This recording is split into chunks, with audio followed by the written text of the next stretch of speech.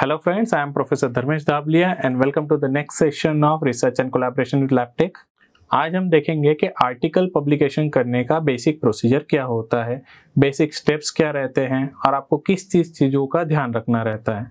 First of all मैं consider कर रहा हूँ कि आपने अपना रिसर्च कंप्लीट किया है और उसके रिलेटेड आपने एक रिसर्च ऑलरेडी आर्टिकल बना के रखा है। एक बेसिक फॉर्मेट में लेट से आपने एक सिंगल कॉलम के एक बेसिक फॉर्मेट में अपना आर्टिकल बना के रखा हुआ है।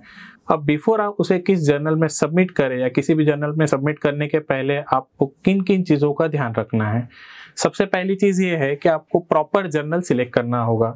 लेट से अगर आपका डोमेन मशीन लर्निंग है या आपका आर्टिकल मशीन लर्निंग के रिलेटेड है तो आपको अपने कीवर्ड्स पे ध्यान देना होगा। लेट से आपका एग्ज़ाम्पल हम लोग ले लेते हैं। Machine learning algorithm for detecting cancer तो कैंसर एक हेल्थ केयर का सेक्शन है और machine learning A I based system है। तो कहीं ना कहीं आपको एक ऐसा पर्टिकुलर जर्नल फाइंड करना होगा जो आर्टिफिशियल इंटेलिजेंस और हेल्थ केयर के पेपर पब्लिश करता हूँ। एग्ज़ाम्पल हम ले सकते हैं मोस्ट प्रोबेबली एक्सपर्ट सिस्टम्स करके जर्नल है जो इस टाइप के टाइटल को पब्लिश कर सकता है। अब आप इसे किस तरीके से सर्च करेंगे? फ़र्स्ट ऑफ़ ऑल आप जर्नल के प्रेस्टिज को फाइंड करेंगे कि जर्नल कौन से क्वार्टाइल में है, आप किस लेवल की इंडेक्सिंग को टारगेट कर रहे हैं कौन से इंडेक्सिंग डेटाबेस में आप अपना आर्टिकल इंडेक्स करना चाहते हैं? स्कोपस में वेब ऑफ़ साइंस में एससीआई में एसएससीआई में? नॉर्मली मशीन लर्निंग के आर्टिकल्स एससीआई और स्कोपस के रेंज में ही पब्लिश होते हैं। बेस्ड ऑन दैट आप स्कोपस से और वेब ऑफ़ साइंस से रेप्यूटेड पब्लिशर्स का डिफरेंट डिफरेंट जर्नल्स निकालेंगे।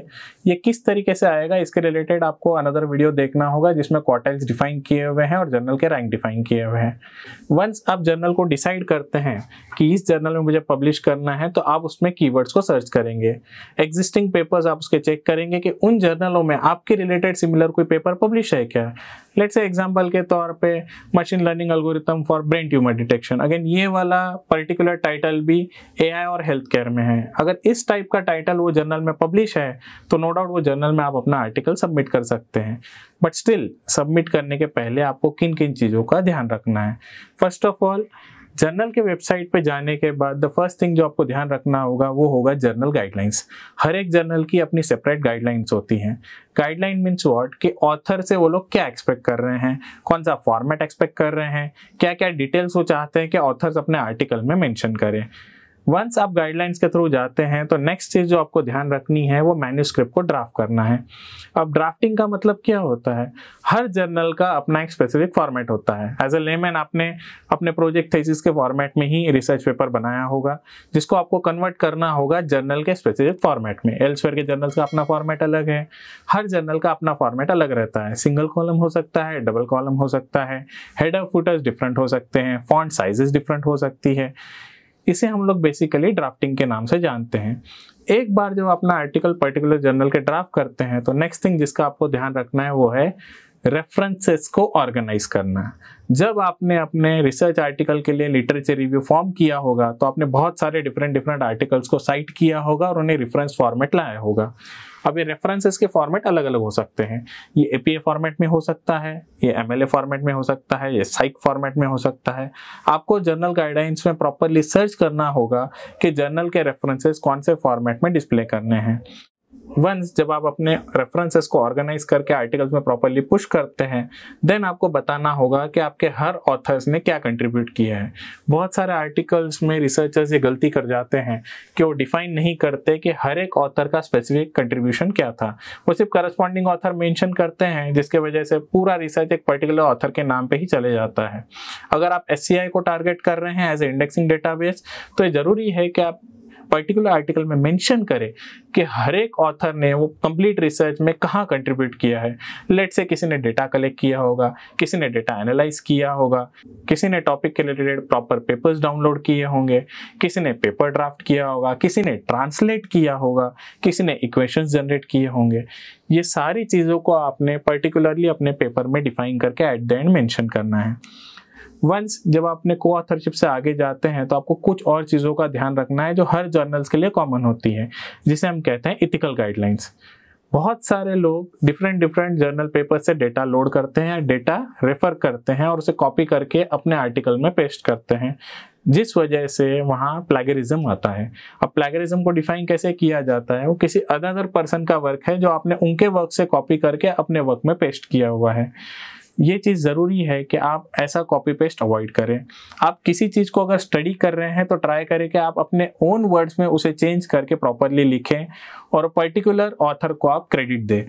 पर्टिकुलरली रिसर्चर जिसने वो आर्टिकल जहाँ से आपने वो रेफर किया है, वो आपके रेफरेंस में अवेलेबल होना चाहिए।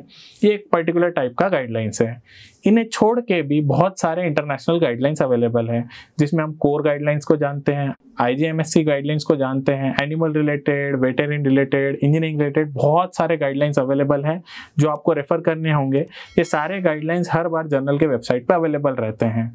आपको प्रॉपरली जर्नल गाइडलाइंस और ऑथर गाइडलाइंस को पास करना होगा और ऑब्ज़र्व करना होगा कि कौन सी गाइडलाइंस आपको मेंटेन रखनी है और कौन कौन से डिस्क्लेमर आपने प्रॉपरली अपने आर्टिकल में मेंशन करने हैं। नेक्स्ट चीज़, अब आपका आर्टिकल कंप्लीटली रेडी हो गया है जर्नल में सबमिट होने के लिए, कि हम अपने आर्टिकल को ठीक से एक बार स्टडी कर ले, कि कहीं कोई ग्रामर की गलती तो नहीं है, कहीं कोई इमेज ब्रेक तो नहीं हुआ, कहीं कोई टेबल नेक्स्ट पेज पे ट्रांसफ़र तो नहीं हो गया, या फिर कोई पर्टिकुलर इक्वेशन इमेज फॉर्म में तो नहीं रह गया पेस्ट करते समय, या आपने पर्टिकुलर टूल जो वापरा था उससे इमेज आपकी ब्लर तो नहीं हुई, ये सारा पार्ट आपका होता है प्रूफ रीडिंग सेक्शन में।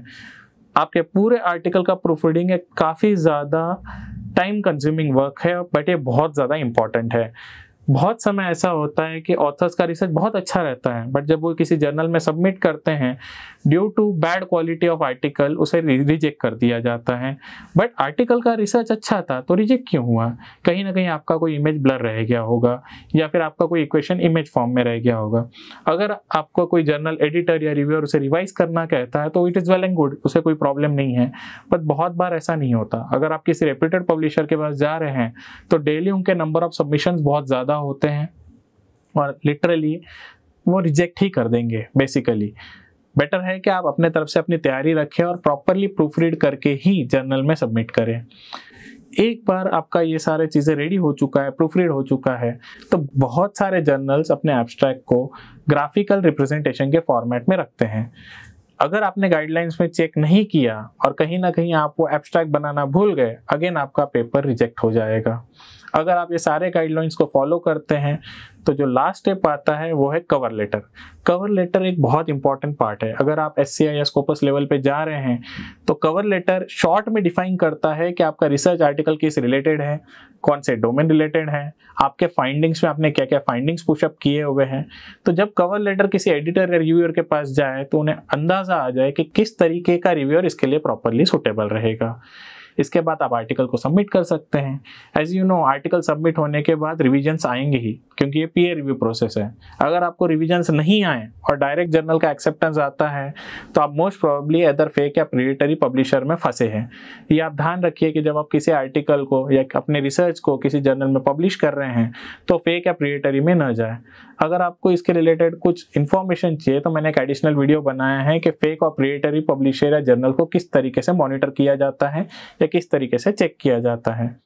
अगर आपको रिविजन और प्रॉपर पीयर रिव्यू आ रहा है तो ये एक साइक्लिक प्रोसेस है। आपको पीयर रिव्यू से रिविजन्स आएँगे, आपको रिवाइज करके आर्टिकल डालना होगा। अगेन वो कुछ और रिविजन्स भेजेंगे। आफ्टर सर्टन पॉइंट आपका एदर आर्टिकल एक्सेप्ट होगा एदर आर्टिकल या तो फिर आपका रिजेक्ट होगा। अगर आपका आर्टिकल पीयर रिव्यू प्रोसेस को पास कर जाता है और एक्सेप्ट हो जाता है और पब्लिश हो जाता है तो सबसे इंपॉर्टेंट होता है लास्ट स्टेप जो है प्रमोशन आर्टिकल पब्लिश होने के जब आप उसे प्रमोट करते हैं सोशल मीडिया नेटवर्क्स पे तो बहुत सारे रिसर्चर्स आपके पेपर को फॉलो करेंगे, आपके पेपर को पढ़ेंगे और कहीं ना कहीं उन पेपर को रेफर करेंगे, जिससे आपका ओवरऑल साइटेशन बढ़ेगा। अगर as a part of researcher आप न्यू हैं और आपको ये नहीं समझ आ रहा कि मेरे रिसर्च के लिए कौन सा जर्नल प्रॉपर है तो आप हमें कमेंट में अपने रिसर्च के बारे में बता सकते हैं। हमारी टीम डिफरेंट डिफरेंट जर्नल्स के कीवर्ड स्कैन करके आपको रिकमेंड करेगी कि आप कौन से डिफरेंट डिफरेंट जर्नल्स में अपने पेपर को सबमिट कर सकते हैं। अगर आपको डाउट है कि पर्टिकुलर जर्नल जिसमें आप सबमिट कर रहे हो प्रीडेटरी या फेक है तो भी आप कमेंट कर सकते हैं। हमारी टीम इसे फॉलोअप करके चेक करेगी कि वो प्रेटर या फेक जर्नल ना हो। मेक श्योर sure कि आप अपने रिसर्च को प्रॉपर ही जर्नल्स में सबमिट करें और पब्लिश कराएँ जिससे आपका रिसर्च वेस्ट ना हो। Thank you for watching the video stay tuned